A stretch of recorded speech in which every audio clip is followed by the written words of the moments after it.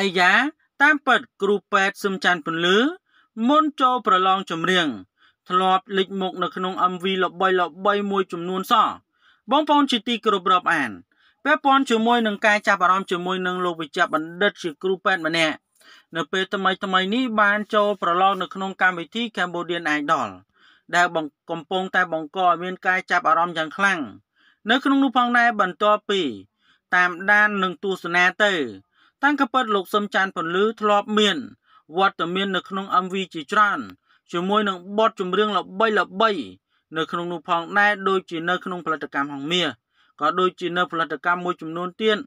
ចំពោះលោកហ្នឹងគឺចេញមករួមជាមួយនឹងបទដូចជា MV បតតោងនិង MV មួយទៀតគឺសង្សារគេទេប្រូ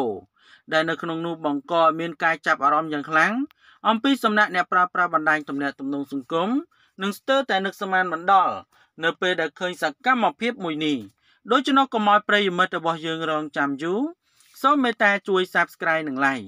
ដើម្បីទទួលបាននូវព័ត៌មានថ្មីថ្មីបន្ថែមទៀតនៅលើបណ្ដាញទំនាក់ទំនងសង្គមកំពុងតែផ្ទុះនៅការចាប់អារម្មណ៍ចែករំលែកលើបណ្ដាញសង្គមតៗគ្នាជាមួយនឹងការបង្ហាញវត្តមានរបស់បេក្ខភាព Cambodian Idol មួយរូបដែលមានឈ្មោះថាស៊ីមច័ន្ទពន្លឺ ដែលឆក់បាននឹងការកត់សរសើរយ៉ាងខ្លាំងជាមួយនឹងរូបរាងនិងសម្រស់ស្រស់សង្ហារបស់លោកថែមទាំងមានសមត្ថភាពខ្លាំងថែមទៀតចំពោះបេក្ខភាពរូបនេះគឺជានិស្សិតពេទ្យទើបតែបញ្ចប់ការសិក្សានៅប្រទេសវៀតណាមនិងក៏ជាអតីតបេក្ខភាពប្រឡងចម្រៀងកម្រិតថ្នាក់ពិភពលោកគឺ The Voice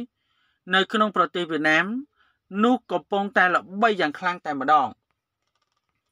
អ្វីដែលកាន់តែធ្វើឲ្យមានការចាប់អារម្មណ៍កាន់តែខ្លាំង ទៀតនោះគឺគ្រូពេទ្យរូបសង្ហានីមុនចូលប្រឡងនៅក្នុងបទក្នុងចម្រៀង Cambodian Idol លោកក៏ជាអ្នកសិល្បៈខ្មែរម្នាក់ដោយឃើញលេចមុខនៅក្នុង MV សម្ដែងជាច្រើន នៅក្នុងនោះ MV ល្បីល្បីរបស់កញ្ញាយូរី គឺបរមតោងនិងបទសង្សារគេទេប្រូមួយយ៉ាងវិញទៀតកន្លងទៅគេក៏បានឃើញលេចវត្តមានលោកសឹមច័ន្ទពន្លឺច្រៀងនៅលើឆាកប្រគំតន្ត្រីធំធំជាច្រើនផ្សេងផ្សេងទៀត ដែលបង្កឲ្យមានការចាប់អារម្មណ៍ស្ទើរតែនឹងស្មានមិនដល់នៅមួយរយៈចុងក្រោយនេះពាក់ព័ន្ធជាមួយនឹងលោកសឹមច័ន្ទពន្លឺដែលនៅពេលថ្មីថ្មីនេះកំពុងតែអង្រួនបេះដូងមហាជនជាពិសេសអ្នកប្រើប្រាស់បណ្ដាញសង្គមជាច្រើនដែលស្ទើរតែនឹកស្មានមិនដល់ថារូគេពិតជាធ្លាប់មានវត្តមាននៅក្នុងកម្មវិធីល្បីល្បីធំធំជាច្រើនហើយឥឡូវមួយរយៈចុងក្រោយនេះក៏ត្រូវបានបើកបង្ហាញថា